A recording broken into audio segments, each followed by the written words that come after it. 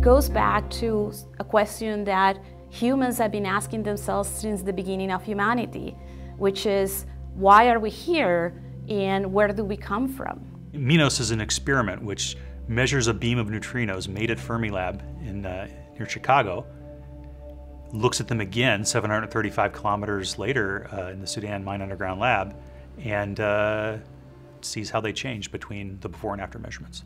So neutrinos are uh, tiny little particles that have very little uh, mass.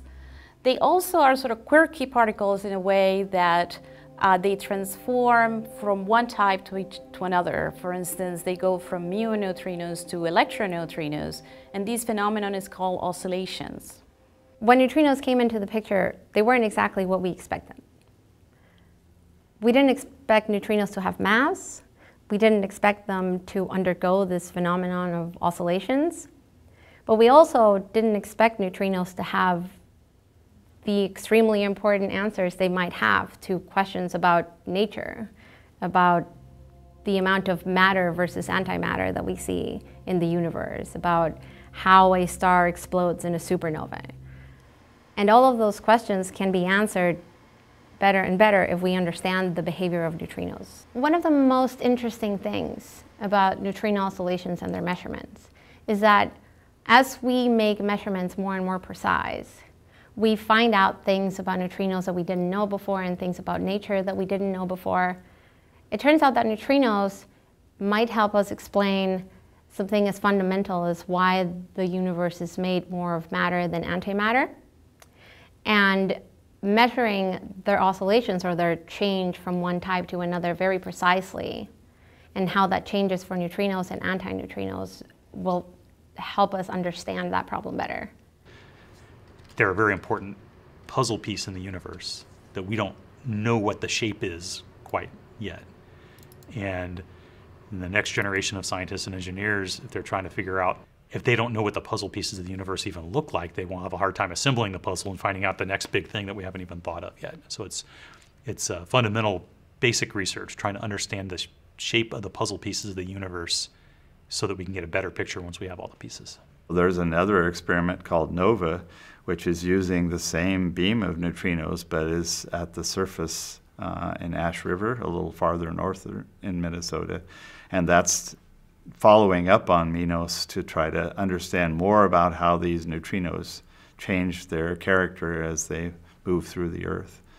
The NOVA detector was built with all the knowledge that we've learned from previous experiments. So it has a handle on these interactions to see them in a way that we haven't seen them before. With NOVA, we can not only see the disappearance of the muon neutrinos, but we can also see very clearly and with very, very good resolution the appearance of those muon neutrinos as electron neutrinos at the far detector.